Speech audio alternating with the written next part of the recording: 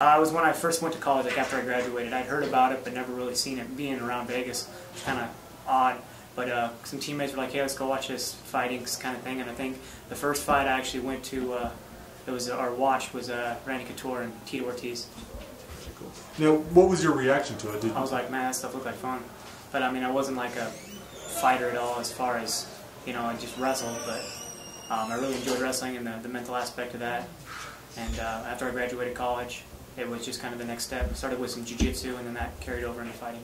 Dude, there's there's so much sacrifice with this sport. Like every like seems like every week uh, I got a friend calling, hey, there's a party, or hey, we're doing this, and it's like, sorry guys, I'm training, you know. And it's I got an awesome bunch of friends that they understand, you know what I mean. They're, they show up to every fight and stuff like that. But dude, there's so much sacrifice. Like I missed out like on opportunities with say with certain jobs. You know, I mean, who knows what I could have been doing if I, I originally wanted to go to med school, but then I started fighting. I was like, I can't take six years off and, and you know I can't come back and fight, but I can always go to school.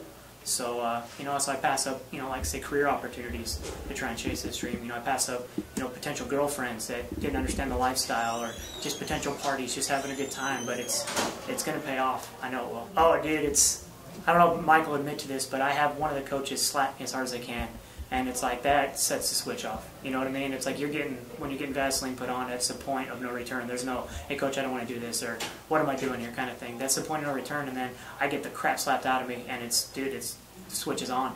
It's you get hit once, and it's like you just you're in go mode.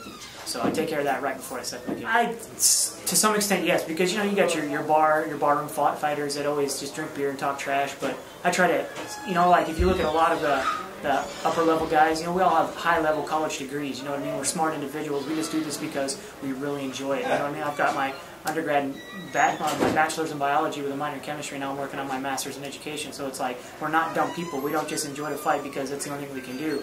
I mean, I could, you know, I could be a, a chemist right now, or you know, be working for Anheuser Busch as a biologist, but instead I chose the fighting path, and it's it's not because I'm dumb or enjoy getting punched in the face. It's, it's just something that you either want to do or you don't if it wasn't for my mother teaching me how to tap dance, it's kind of kind of funny.